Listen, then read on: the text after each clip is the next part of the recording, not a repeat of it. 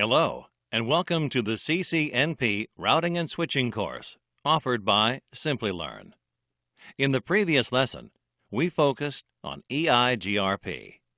In this lesson, we will look into Open Shortest Path first, OSPF. Let us begin with the objectives of the lesson in the next slide. By the end of this lesson, you will be able to explain the concept of OSPF and configure OSPF, describe OSPF router types and area types, explain how OSPF determines best path, explain various link states, describe authentication and configure OSPF network types, describe the process of DR and BDR election. Let us start our discussion of OSPF version 2 for IPv4. OSPF was designed by the Internet Engineering Task Force, IETF, and John Moy.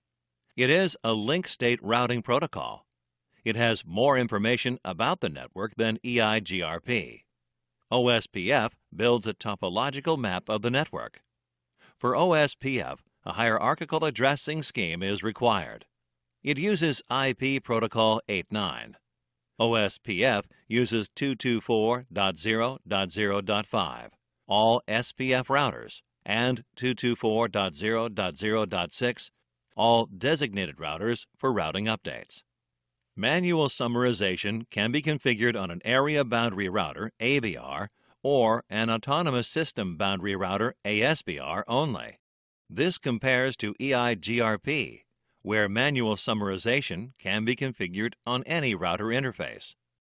Let us configure OSPF in the next slide. An OSPF routing domain can use multiple areas, which are groups of routers.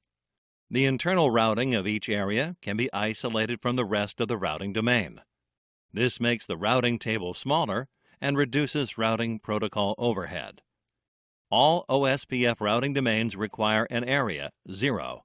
All areas must be connected to area 0 physically or through a virtual link. Best practice dictates that an area should have more than 50 routers. A router should not have interfaces in more than three areas. The next slide focuses on how to configure Router ID.